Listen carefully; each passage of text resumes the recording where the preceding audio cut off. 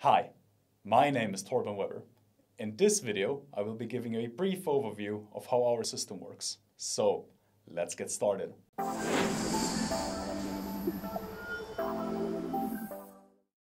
Alright, so let's get started with the reader demo.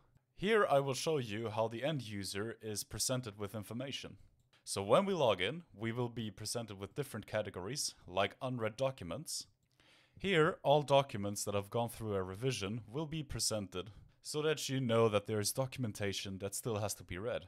Let's now go into one of these documents, like this SMSAN revision 33.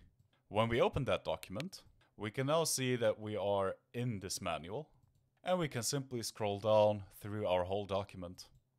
We can see that all links are functional, so if I click, for example, list of effective pages, it jumps right to this page. On a page level, there is some functionality as well. Like comments, this makes references to the user comments.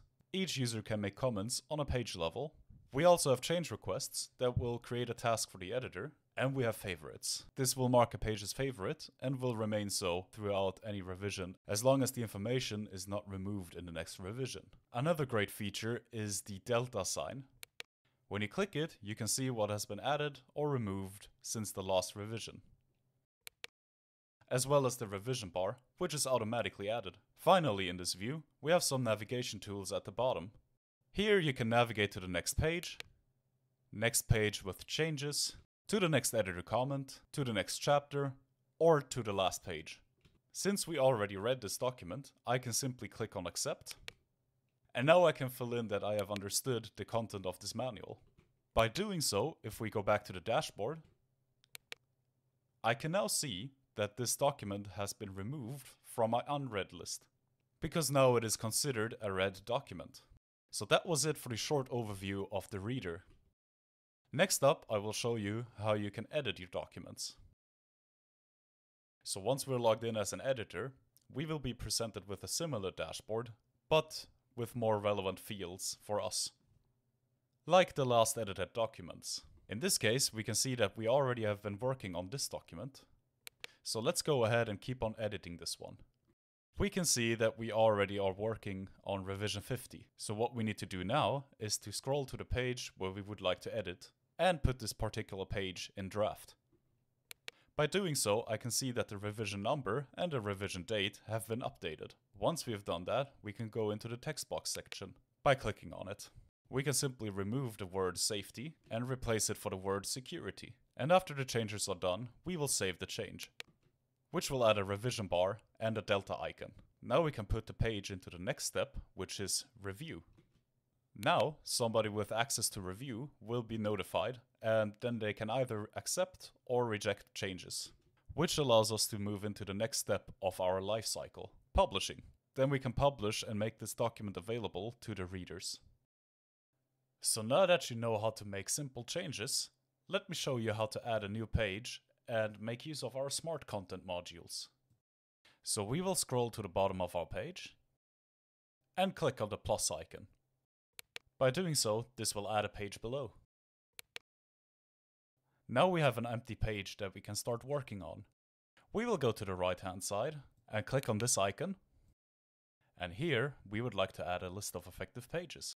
So we click list of effective pages and the system will present us with a few options. Let's go with default. And that was it. You can see that our list of effective pages is now created and it will always be updated along with future revisions. Lastly, we simply have to click Save and put this page into our next step in the revision process, the review step. Now I would like to show you how to connect your regulations to your documents. To do this, we go to the left side under Compliance. We expand it. Here we can see all our available regulations. Let's select the EASA Air Ops Part CAT when we click on it, it will open a new tab, and here all regulations are showcased. We can expand it. Here we can see all of the requirements by the paragraphs and the sub-requirements. And here we can link them to our documents. Simply click on the link icon.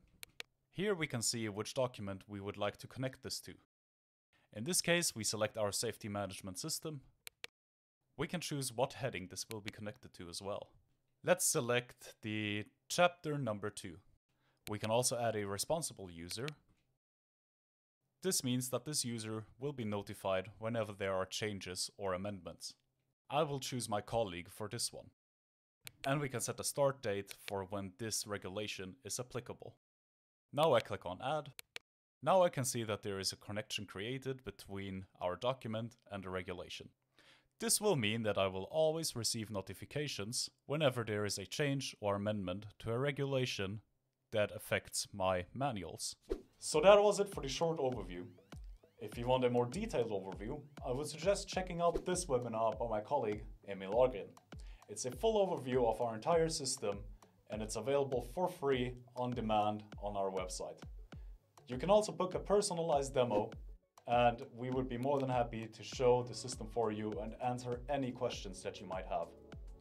Thank you so much for watching.